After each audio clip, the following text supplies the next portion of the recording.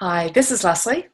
Welcome to today's teaching tip on how to ensure that your facilitations or your teaching is going well and to find out how to change things so that they can be even better.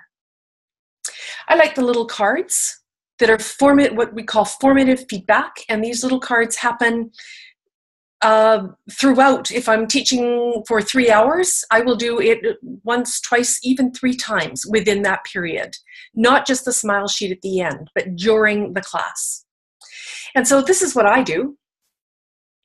www. What am I doing that is really working well for you to learn? And on the other side, what can I do that will make this even better. So, this is even better if you do this.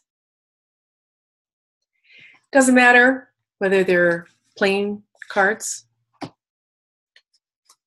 or brightly colored cards. I like to color code so that I know the first one, everybody got a pink one, the second one, everybody got a green one. So it helps me reflect on my own on my own process.